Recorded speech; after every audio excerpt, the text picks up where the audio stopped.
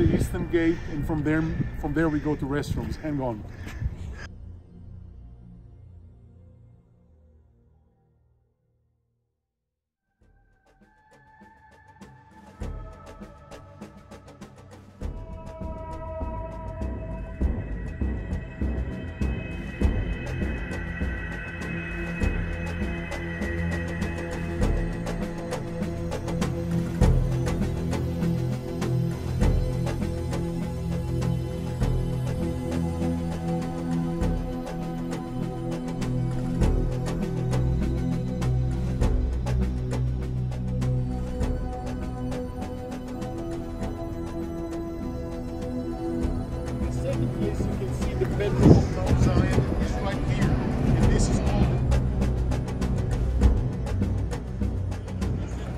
Opinion, a minority opinion, yet very important, and we want to talk about it. And this opinion says that this is where used to be the Holy of Holies. Okay? It's not in the center of the complex it's on the side.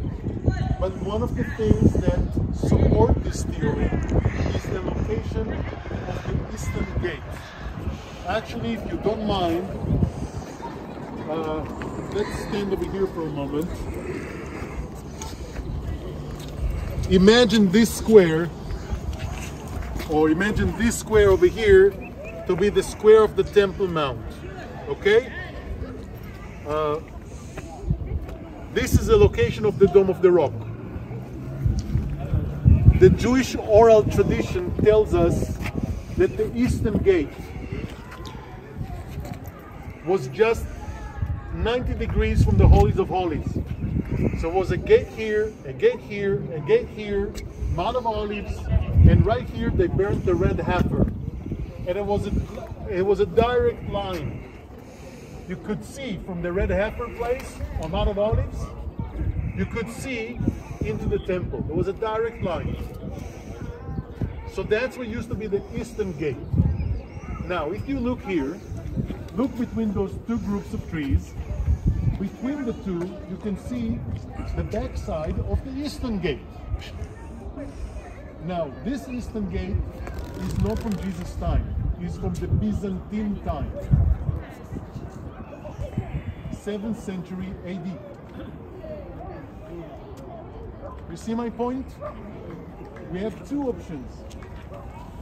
Either the gate from Jesus' time was not found yet, and it should be right over there in front of the Dome of the Rock, and that's where used to be the Holy of Holies, or under this gate, you will find the gate from Jesus' time.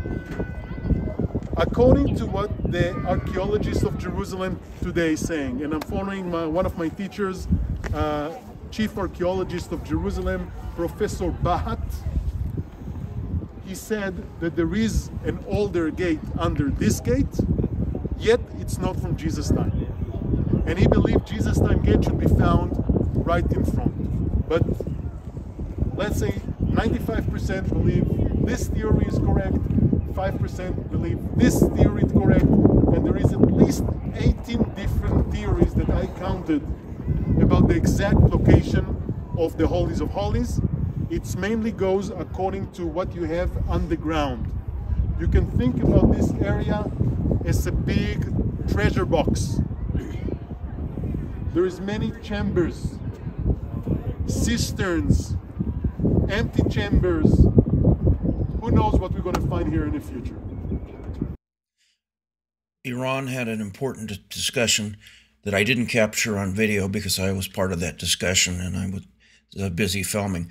Uh, but the basic point was if the eastern gate is on the north side of uh, the eastern wall, then it would line up perfectly where the Dome of the Spirits is, and the temple could be rebuilt there with the real estate that's available without destroying the Dome of the Rock. Uh, the Dome of the Rock would fall into the court of the Gentiles, and that the in an end time scenario, you could actually have that whole site as a holy area, uh, which would fit the scheme of an Antichrist coming in to have uh, the Islamic structures left in place and still have the temple be rebuilt.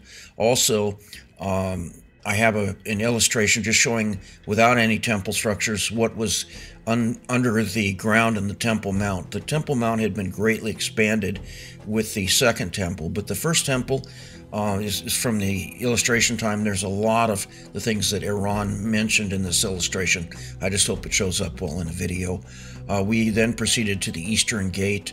And uh, with my last group, we actually paced off the dimensions of the temple uh, just basing the idea that if it was rebuilt with the original dimensions, we could have it on the north side of the Temple Mount without destroying the Temple Mount.